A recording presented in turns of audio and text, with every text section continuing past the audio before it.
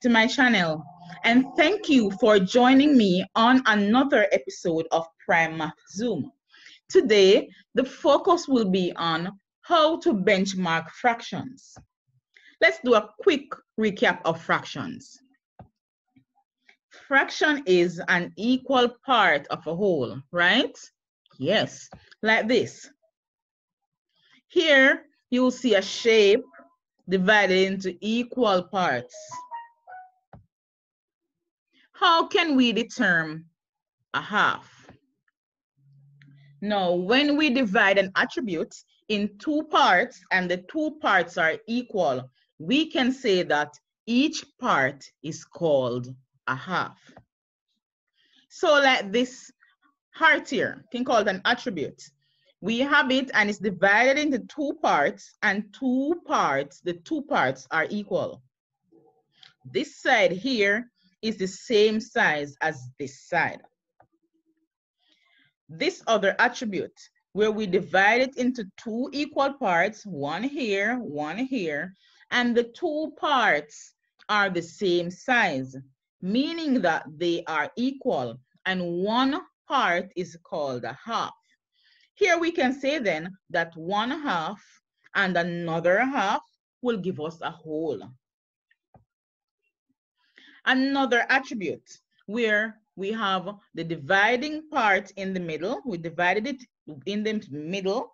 And on one side, we have a half. The other side, we have another half. These two halves together created one whole. How can we determine quarter? This is when an attribute is divided into four equal parts and one part is now called a quarter or a fourth. Like this, this attribute here is divided into four parts. Here, one part, two parts, three parts, and four parts. But are the four parts equal? Yes, the four parts are equal in size. This means that one of the parts can be called a quarter or a fourth. So here in this attribute, we would have one quarter, two quarters, three quarters, four quarters, which would be one whole. Another attribute divided into four equal parts. One, two, three, four.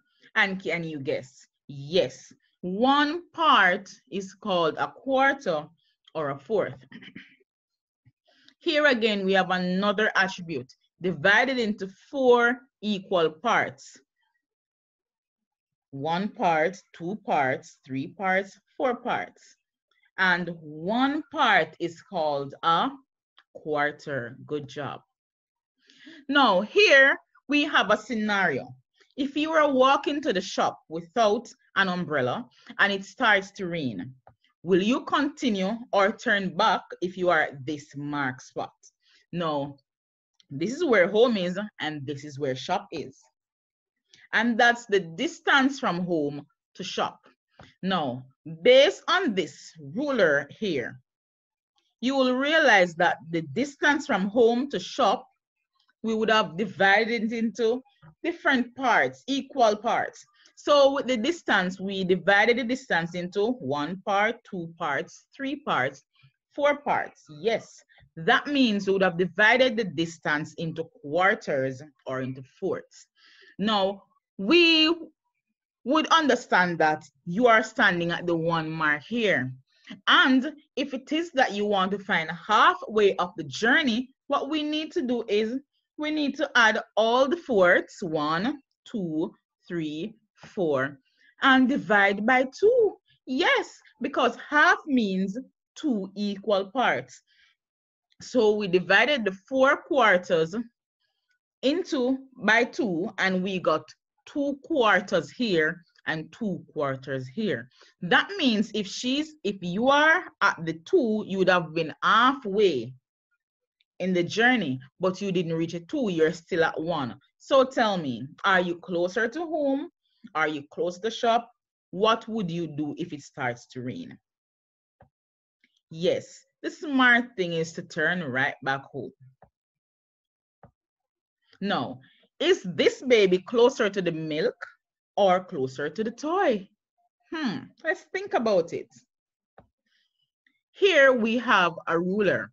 And look here at the zero point is where we're going to start. So the, z the milk bottle is placed at the zero point and the toy is placed at the last point, the 20 point.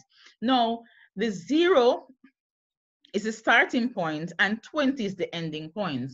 And in order to know if the baby is closer to the milk or closer to the toy, we have to figure out which mark will represent halfway. Now, if 20 is the highest point, and we know that when we're talking about half, we are going to divide by 2. We can divide 20 by 2. Now, think about it. How many groups of 2 can you get from 20? Hmm. Yes, 20 divided by 2 gives us 10. So here we know that a 10 right here will be the half mark. Look at it. Yes, the baby is exactly at the half mark. The baby is exactly at 10 centimeter. So is the baby really closer to the milk or closer to the toy? Neither. The baby is halfway between. Now, let's think about this activity. We're going to think about the x. So is the x point more or less than a half?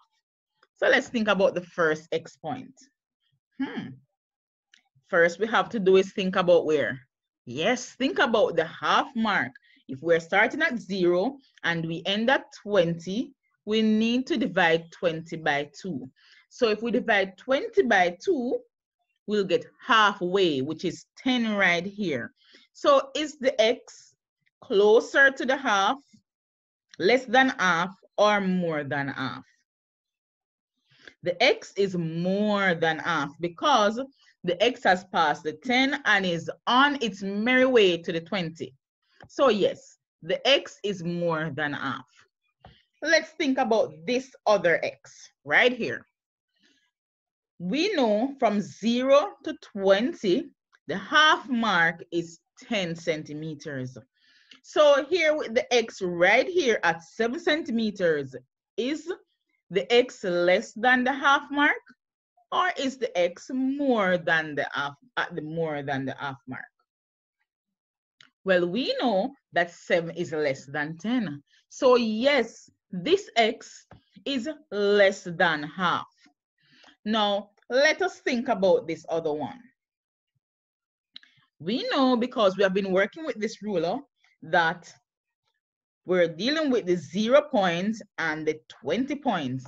And halfway along this ruler will be 10 centimeter. Wow, the X is at the 10 centimeter. That means, yes, the X is neither less than half or more than half. It is exactly halfway along the ruler. Now, based on the activities that we would have done, we can say that when we benchmark fractions, it is easy to visualize and identify the parts, and this helps with estimation. Thank you for staying and learning with us. Please like and subscribe. See you next time.